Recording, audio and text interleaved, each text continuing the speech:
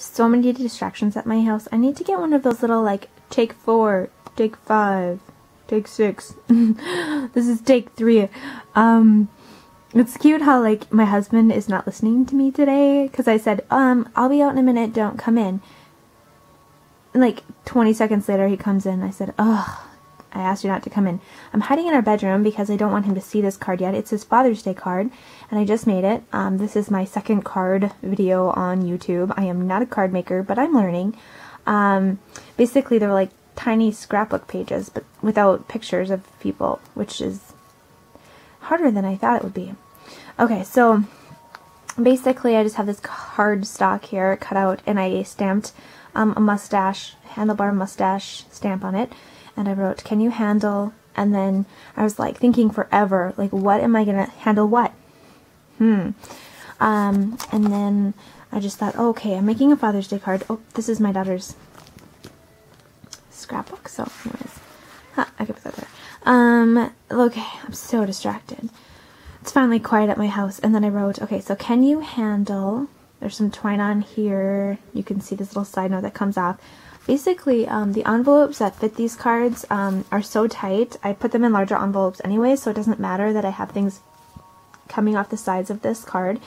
Um, so can you handle all this? And then says all. So basically, if you think of it like this, okay, so can you handle all this love?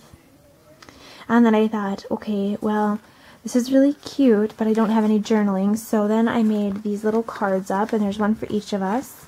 Um, and I used a little um, safety pin to pin this to um, some twine to kind of match the front of the card. So there's twine up there and twine down here.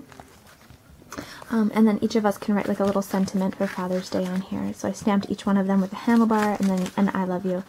Um, and those will just kind of hang in there. So you can easily tuck them in here like this. And then when it opens, it's like... So, this is my Father's Day card that I made for my husband. I'm a bit early on this, but you know what? I don't know when the next time I'm going to have a chance to, you know, um, make cards because I'm going back to scrapbooking today. Um, and I inked the edges, which I'm not happy about, but mm, what do you do? Um, this whole back cardstock paper should be like more vintage for this card. So um, that's probably the biggest regret I have with this card is that it's not um, like more distressed background here this green paper. So I would change that, but I still have a couple more Father's Day cards to make, and um, they'll be a little bit different because I don't want them to be so like mushy with like love and stuff. But um, it was fun for me to be able to put a picture with the card because like I said, I'm a scrapbooker, so that comes more naturally to me. um, but thank you for watching. Um, this is, again, my mustache Hundle, Hundle mustache card.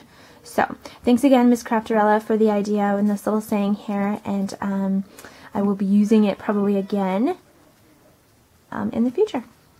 Bye, guys. Thanks for watching.